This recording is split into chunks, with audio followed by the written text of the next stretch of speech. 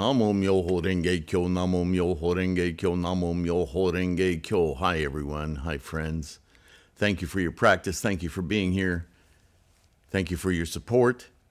Even if all you do is take a few seconds to like and subscribe, it's a Bodhisattva act. It helps us propagate these this resource for the proper teachings of uh, Nichiren's insights into Shakyamuni's Lotus Sutra Buddhism. Yeah. Uh, today I'm going to do a bit of an introduction into a version of the Lotus Sutra I've had for many, many years as a as a as a PDF. Uh, but reading off a computer, it's just not for me.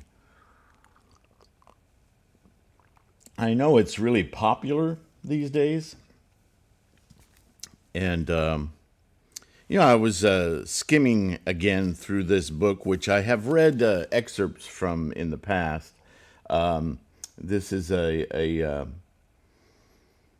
a book of several scholars, uh, edited by Stephen F. Teiser and Jacqueline um, I. Stoke um, Stone. I don't know why I can't speak this morning, but Jacqueline Stone is a uh, somebody I've read from before. She's a very, uh, she's a contemporary of ours. She's a very erudite uh, scholar of uh, medieval Japan and uh, several aspects of medieval Japan, Japan, and certainly with regard to Nichiren. So yes, I've read from her before. I have several of her books, her dissertations on the questionable origin of some of the Gosho uh, that aren't fully authenticated are either in Nichiren's hand or um, in his voice as uh, uh, written by like senior disciples close to him. And I've mentioned that while reading the Gosho and uh, Nichiren Gosho, the first run through of the Gosho Zenshu, as opposed to the Gosho, um, the um, I forget what it's called now, but the the uh, organization that uh, Nichiren Shu started for propagation, they have uh, many many of the same uh, Gosho, but they have uh, some that they've got in certain collections that the Zenshu uh, doesn't have. So uh, I felt like I needed to start to, to do that uh, Nichiren Gosho 2, T O O, so clever. Um, but I couldn't complete it because it, it's just so full of improper rhetoric that I, there's really no use going through them. But I did go through several that I thought were meaningful, and um, the meaning is in there. What I wanted to point out is even in the Zenshu, um, there's a couple of them where you can just hear. It, it's not Nichiren's voice. You can you read enough Gosho and you hear Nichiren's voice, right? Anyway, I make that point because uh, something that uh, Jacqueline pointed out, where was it? About uh, translations of uh, the uh, the Lotus Sutra, and she said that the excerpts they used in this study in this book was um, specifically the Leon Hurwitz edition, because in their opinion and I respect their opinion greatly. Um, the uh, Leon Hurwitz translation is the most, should I say, accurate, um, the most faithful. I'll say it that way. I wanted to quote her directly, but I'm having trouble finding the entry now. Uh, to the Chinese uh, translation of Kumarajiva. And I thought, well, you know, that Kumarajiva translated directly from, here it is, directly from the Sanskrit, one of the many languages that uh, transcribe the Lotus Sutra. And Kumarajiva undoubtedly did his research, so it's the most authoritative translation that most, if not all, most uh, great, uh, uh, modern translators use. So here she says, uh, The scripture of the lotus blossom of the fine Dharma, the Lotus Sutra, translated from the Chinese of Kumarajiva, records records of civilization, sources and studies, uh, 94. Translations from the Asian Classics, New York Columbia Press, 1976, and revised in 2009. Um, and darn it, that's not.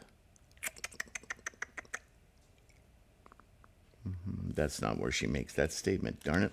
Anyway, she was talking about um, uh, his uh, faithfulness to the translation, uh, to the uh, Sanskrit text. Um, at any rate, I've gone ahead and ordered that one in print form because when I do these videos, having a print form that I can re- read and read ahead and mark and you know make notes is very valuable to me. Not so easy to do with electronic copies. Maybe it will be one day. Maybe I still won't do it. anyway, today uh, what I have in, instead of the PDF to read from, I actually ordered the uh, the BDK version of the Lotus Sutra. Unfortunately, the BDK and the Tripitaka uh, people, uh, they're very scholarly and very dedicated to doing an accurate job. But in the Lotus Sutra, they do not include the opening and closing sutras. What are you going to do?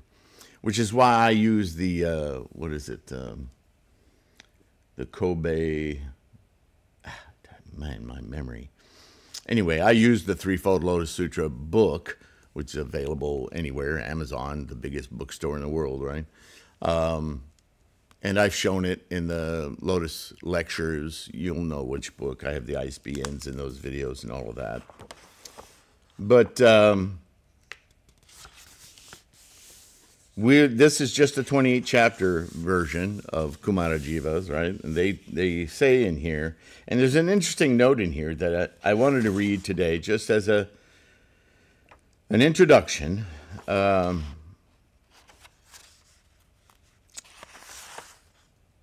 I don't want to read the whole thing. I just want to read this particular part because you hear me talk about uh, cultural bias, organizational bias, author author bias, um, and it's just it's everywhere. It's not that it can be escaped, or that I want to impugn those people as having nefarious uh, motivations. Some might. Uh, th- there have been books written on Buddhist translations that are a concerted effort to demonstrate how Buddhism is inferior to Christianity. So, yeah, it's there. Um, but just, I want to read just their rhetoric without my imposition on it, and you will hear uh, it's, it's very obvious that they make decisions based on what they want to base them on. Uh, that doesn't mean it's not scholarly or, or uh, you know, it's hard to call it wrong. What is wrong is for us to go into these translations as though they were the word by word, authentic words of Shakyamuni. Nobody has that, no matter what. I don't care if it's Pali, sorry for those of you who think those are the only true teachings, or, or Gandhari uh, text uh, languages, or whatever.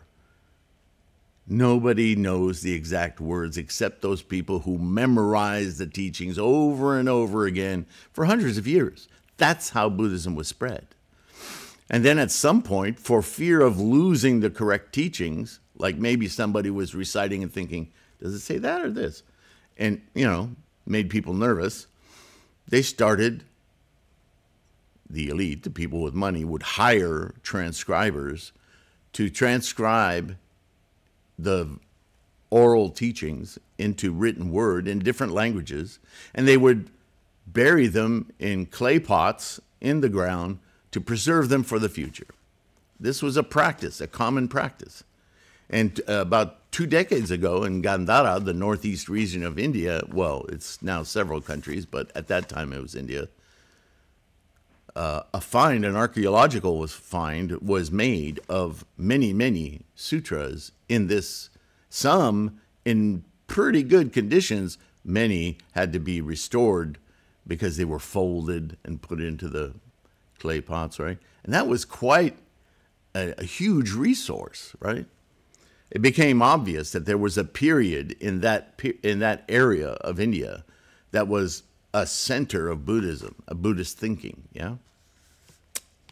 So anyway, there's a publisher's forward here that I'm going to read from, just a couple paragraphs, just to prepare you for yet another series on the Lotus Sutra. And by the way,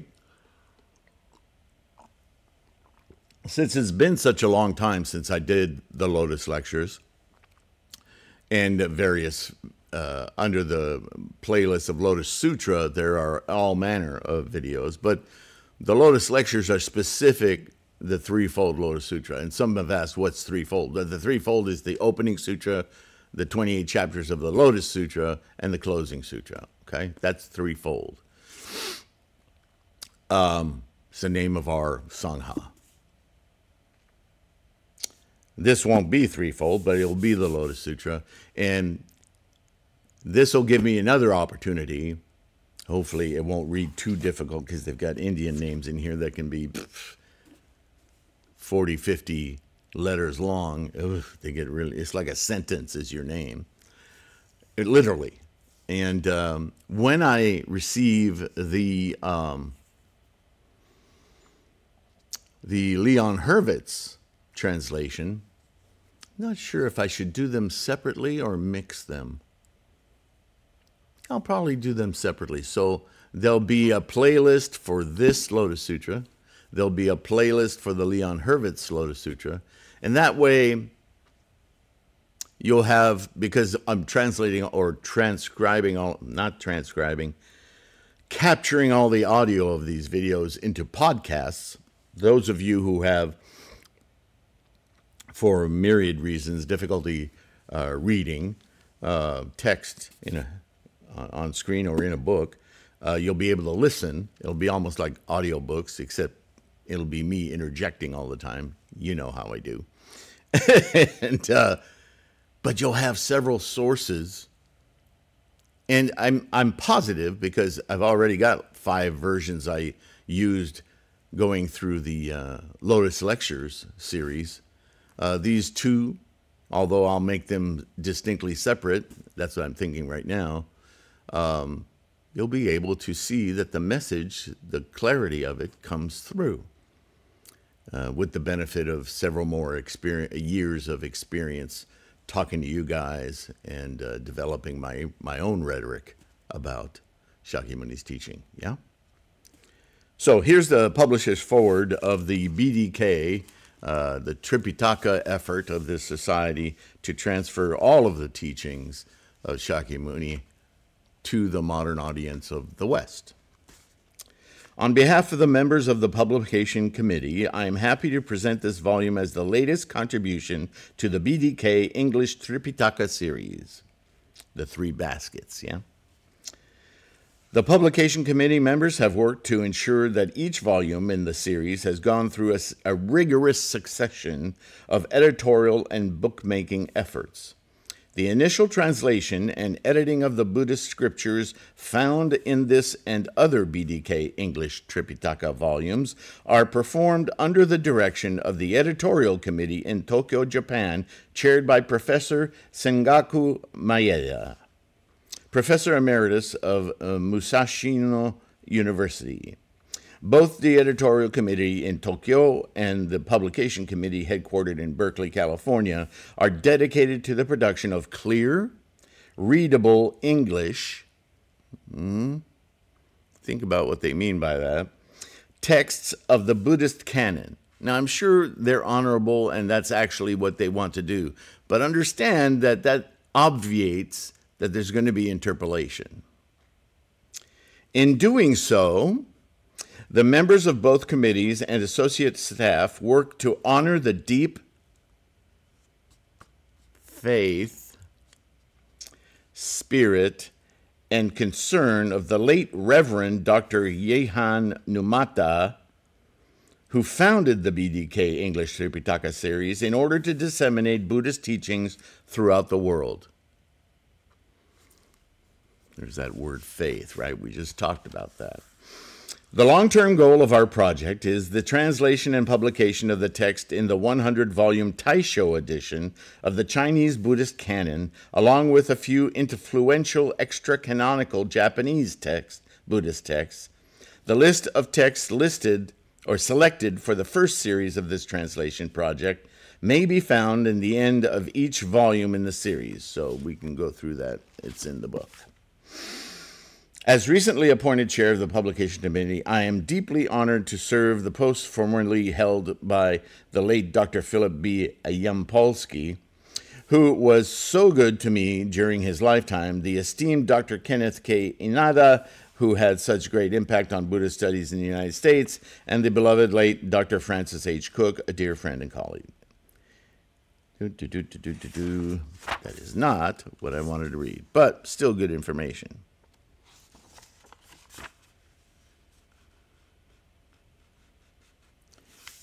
Again, they keep repeating. The one thing I want to read that's in uh, that I think is important is um, the selection of the text. They they use the Taisho, the the Chinese record like Tendai, that cleaned up that record of the canon, Buddhist canon, right? Created the five periods, create, t- got away with or did away with erroneous teachings, and came, and uh, pared it down to what could justifiably be called Shakyamuni's actual teachings, right? That's the Taisho in China. And they're using that Taisho in order to pull those translations, those uh, uh, specific texts, they call them scriptures in here, mm, um, to translate for us, calling it the Tripitaka, yeah? Okay. But then, in the very next sentence, they say that that's not the translation they're using.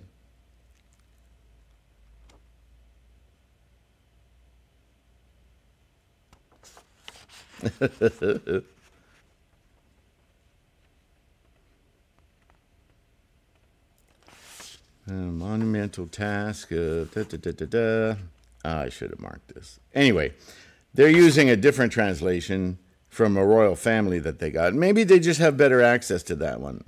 They claim in the book that the differences are so minor as to be irrelevant. Okay, we can only hope, right? We don't know. At least they're being straightforward about it.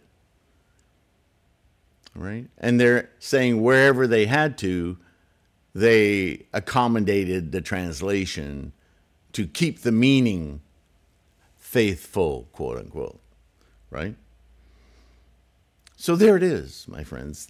I don't accuse them of anything.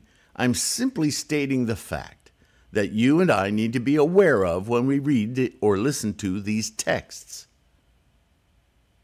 They are not word by word Shakyamuni they are meaningful and they are captured for some somebody's reasoning that we need to hear things in a certain way in order for our western minds to get it. And you know what? Some of that that's arguably what i'm doing. Yeah? I would add the proviso were i writing a forward for my own book I would add to what they're saying because what they're saying isn't wrong, but it obviates the need for one other piece of information that every effort I make in this regard will be to remove the stigma of the charismatic words that lead one astray or outside of Buddhist thought. That is my primary mission in these videos, in my books, on the threefoldlotus.com website, in everything I do, even the mandala. I refuse to use a mandala by Frank or Peter or Kokyo or whatever they're called today, leading an organization, because they put their own signatures on that mandala along with important dates for themselves. Uh, that's not Nichiren. That's you. I'm not I'm not worshiping an individual. I am awakening my Buddha nature. No worship, I'm manifesting. And if you're on my mandala, you're a distraction. The only one I want on my mandala is the guy who created it, Nichiren. That's who I'm practicing with. That's my mentor. That's my teacher. So I'm very adamant that if you really want to practice correctly, get a simile, a digital, accurate representation of an actually scribed, inscribed Nichiren mandala. Don't mess around with the other stuff. What are you doing? It's already obfuscated. That's why all that argumentation between different organizations on whose is best and which one to use, there's only one.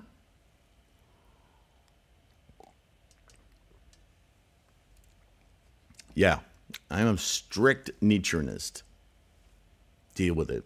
Nichiren, if you read his Gosho at all, pretty darn strict. Because look at how many times Buddhism has been led astray. For what? For egos? For political power? To create religions out of them? No, thank you. I've had my fill of religions.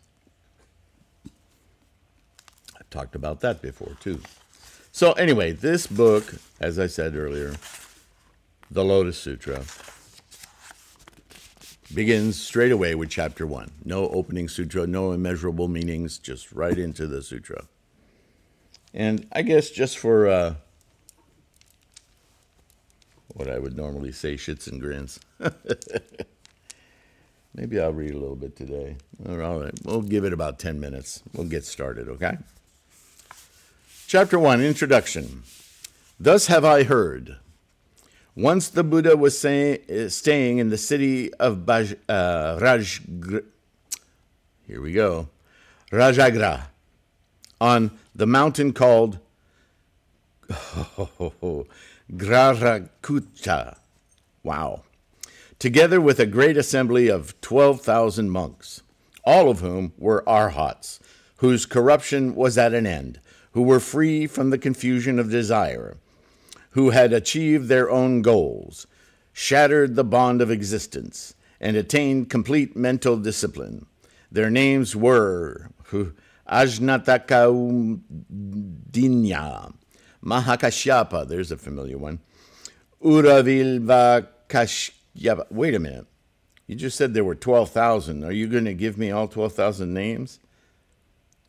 Vakula, Nanda, Subhuti, Ananda, Rahula. Whew.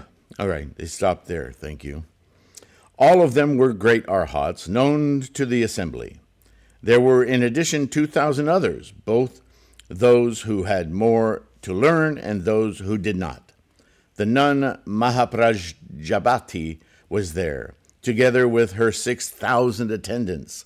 Wow. And also the nun Yashodhara, Rahula's mother, together with her attendants. So let's just pause there for a moment and consider what that first paragraph is about. I've mentioned this before. These sutras, they start establishing who this teaching is being taught to. That's vital. That's vitally important. It's not just a flex. Look at how many people I'm talking to, right? These are types of people.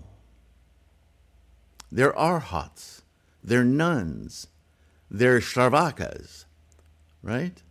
They're people of learning, they're people who've accomplished. They're people of Pratyeka Buddha. They're people of those two worlds, incorrigible as they are, which we later find out in the teachings, can't attain Buddhahood because they're arrogant. They think they know what they don't know. Arhats are not fully enlightened people, although they think they are, and that's the problem. So the attendants See, we know this because we're late Mahayanists, right? We practice the Lotus Sutra. So even in the Lotus Sutra, it begins here. It will expand as others join. In other words, the teachers get more profound, the teaching gets more profound as new p- attendants, personages, mindsets join in the audience. You see the mechanism? It's important to realize this. So, arhats, people who feel accomplished, and yet they're there. So, they're there, they must know there's more to learn. Certainly, that's the position that Shakyamuni puts them in, right? And his his friends and family, right? This is a 6,000 attendants, but uh, for one person, but still kind of an intimate gathering, right? It's not from all over the world, it's other lands, da, da, da, all potential minds. This is for where we're at now. I'm teaching to these people, right? When we talk about teaching to the capacity and the time, this is what we're talking about. Makes sense, right? There were also 80,000 Bodhisattva uh, Mahasattvas. Oh, that changes the color of the audience now. All of whom were irreversible from highest complete enlightenment, Anuttara Samyak Sambodhi. Ah, so the Arhats are already, hmm, these guys supposedly know more than we do. Right? Little ego still in there because they still are attached to a self, which. And a note on self, because I, I get emails about this sporadically. I keep going back to the basics of Buddhist teaching. Just if you're ever not understanding a concept, go back to the Four Noble Truths. as we attain our enlightenment, our awakening, we don't eliminate anything. We don't. The conversations and the teachings about soul, self, identity or make a distinction which we don't in samsara. When we say self in samsara, we see it as a solid container of characteristics, right? Oh, I'm this kind of person. I'm that kind of. We talk about ourselves like we're a vehicle, an actual thing. Oh, yeah, yeah, yeah, I change moment to moment, but that's I, that's me, that's who I am, right? All that rhetoric. And what Buddhism says is stop for a moment and consider as I've gone over ad nauseum, moment to moment, you're reinstantiating from a freight train of characteristics, tendencies, and conditions, not characteristics, tendencies and conditions, that characteristics is only one of 10 factors of the manifestation of each of those little minute energies forming formations, remember? into a momentary instantiation of what that looks like, what that looks like, what that looks like. That's why it's called rebirth. It's a rehashing, a reinstantiation, albeit from the one moment to the next, there's a slight opportunity to influence, to redirect, to slough off, right? So it happens moment to moment, faster than you can think. That's why it's important to stay awakened so that we can influence all of that karma in the direction of full awakening, right? So in that, in that teaching, the self is something that really doesn't exist because it's constantly being modified, moment to moment, moment to moment, moment, to moment. You could call it a selfness, like a suchness. Oh, now you're talking in terms that are more indicative of the process. So the whole conversation about no self isn't about eliminating a self because the self doesn't exist. The self as an extant thing is a samsaric delusion. but the self as a constantly constructed and reconstructed moment to moment process, that's valid. That's what we're awakening. That's what we're influencing. You can't attain Buddhahood if you can't change, right? Self realization, self manifestation of our Buddha awareness. So we don't get rid of the self. What we get rid of, if we're going to use those words, is the permanentizing, the selfizing, the at clinging and craving for Noble Truths. Cease the clinging and craving. Not cease what you're clinging and craving. Stop your metabolism thinking mind from clinging and craving and just be with the momentum it's the same thing, but perceived completely differently. That's why I included the word epistemology in this book. In I'm sorry, the book uh, Buddhism Reference. Not because I want to flex, ooh, look, I know this word, but because it's a word that's a label for a whole area of study, not unlike, go back to Vasubandhu or Nagarjuna, the exhaustive peering into the mechanisms of thought, how the mind works. Epistemology is very useful modern scientific investigation into how human beings construct thought. Right? So, does that make sense? I hope it does. Is that people get really hung up on that word self. Why? It's one of our most basic identifiers. You hear me talk about identity all the time. So, re understand these terms so that they suit and fit with the Dharma, with the teachings of Shakyamuni Buddha. Yeah? Okay. Uh, that's a little over half an hour. So, yeah, I'm going to stop there and we'll continue next time. I didn't get very far, but this is an introductory video. So hopefully you get the idea what I want to do here. Let me know your thoughts.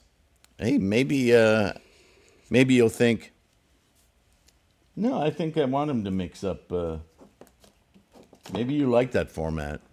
And when I get the uh, Leon Hurvitz edition, maybe I'll I'll go back and forth between them. I don't know. I think there's some there's also a lot of utility to a video that, uh, series that's just dedicated to this particular one. Yeah. I think that's what I'm going to start off with. But I, I want to hear from you guys, so let me know. Okay. In the meantime, thank you for supporting. me. Like and subscribe. Uh, if any of these uh, uh, videos uh, are appealing to you, but again, don't forget they're free podcasts that might be easier for you to deal with uh, to use and anything you can do. Uh, this resource is about helping you attain resolve, confidence. Know that you're invoking your Buddha nature and that you're practicing correctly. That's what this is about. If you can uh, do anything uh, as far as buying ebooks or print books, uh, the correct mandala, and or patrons on Patreon or PayPal. You're the you're the folks who are uh, helping me keep this going. There are costs for everything these days. I'm surprised we're allowed to breathe for free. I shouldn't say that out loud. anyway, in that regard, please take care of your health. Be kind to yourself, yeah. And uh, I will see you in the next one. Undoubtedly. All right. Bye for now. But I'm so frustrated. Hello to my loneliness.